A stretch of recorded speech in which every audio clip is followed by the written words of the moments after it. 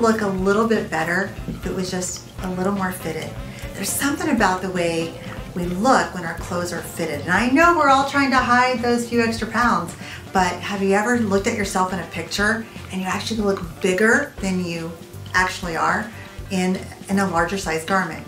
So what you're gonna do with the Cinch It is you're gonna take the Cinch It and in that piece of fabric that you wanna alter, you go in underneath the garment and you put in the cinch it, you pull the fabric, and I'm gonna show you how to do it in the front, but I wanna show you how it, how it looks. Better in the front, cute in the back, and here's how you do it. Take the Cinch It, find a spot, poke it, the fabric through the Cinch It, pull as much as you want, readjust,